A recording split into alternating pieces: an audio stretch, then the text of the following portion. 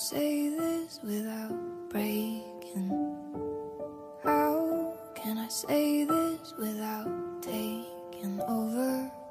How can I put it down into words when it's almost too much for my soul alone?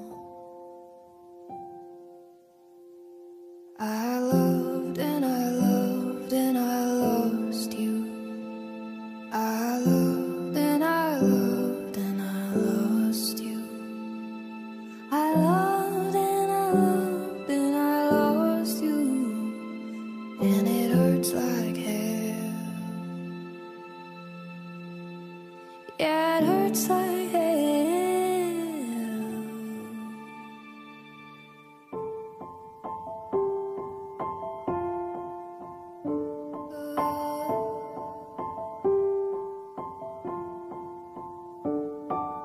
I don't want them to know the secrets. I don't